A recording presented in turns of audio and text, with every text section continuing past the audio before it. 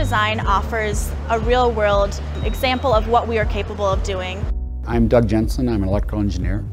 I work in the personal safety division at 3M. We approached St. Thomas as a senior design project for a low pressure flow meter because internally we didn't have the bandwidth to be able to, to do this. Welcome everybody. Uh, my name is Ben. I'm the team lead for Team 16. We can kind of see the path to the final solution. We're just kind of ironing out the wrinkles along the way.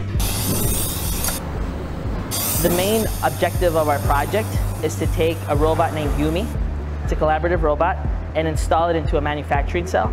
Moving into collaborative robots is a, is a big step for our company. There's a new technology out there. So bringing in the new ideas of the students and being able to adapt those quickly into the, pro the production line has been key. We have three mechanical engineers, one electric, and so what we did first was kind of split up how we're going to do the work. I yeah, I didn't realize that before. I see it though.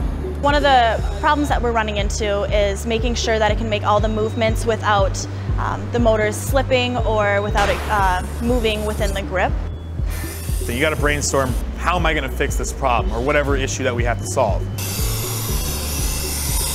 It's been exciting to see the transformation from students that knew nothing about robotics and to quickly be able to adapt that uh, and put it in process. What I want students to get out of this is the fact that engineering is fun, but there's a lot of different aspects to it from business standpoint and schedule standpoint and financial standpoints that sometimes students don't really think about. You have a customer giving you requirements and then you're figuring it out on your own, sometimes coming up with something that doesn't exist. For myself, you know, mentoring uh, the, the next generation of engineers is, it teaches me a lot as well.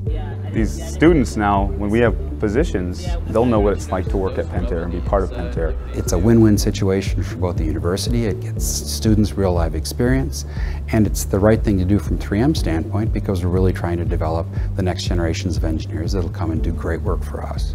We can say that we worked on this project and this was our project alone and this proves the skills that we have.